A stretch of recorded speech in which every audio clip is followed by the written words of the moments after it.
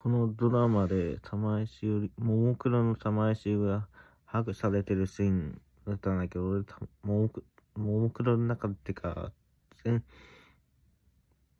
てか結婚した相手の人が玉石よりだから、このシーン見たくなかった。で、で、な今、7話、今日7話だったんで、このシーンがあったから。で、8話の映像見ると、次でしょここから最初から見ると、俺の剣は先生だけなので。あんな写真先生が見たらショック受けるでしょ。これ8話。しっかり持てこんなやり方で点数稼いだ恥ずかしくねえよ。それが誰かを好きになるってことだろ。私と渋谷さんは愛し合ってました。邪魔すぎでしょ。渋谷大会。全然ダメ何でも言わないの昔から。久しぶりに。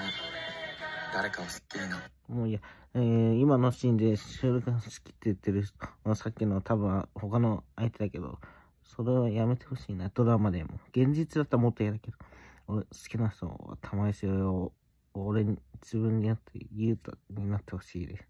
結婚したいんだから。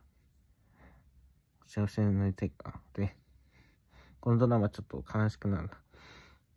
このシーンは、この、このさっきのおやつは、なんで、この、ハグされちゃう、あ、待って、ハグされる？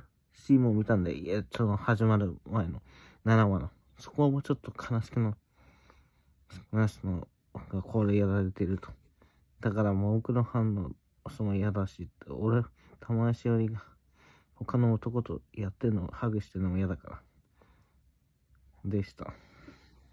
結婚した人がこれや、嫌だねのは嫌だで。玉井しおりでも。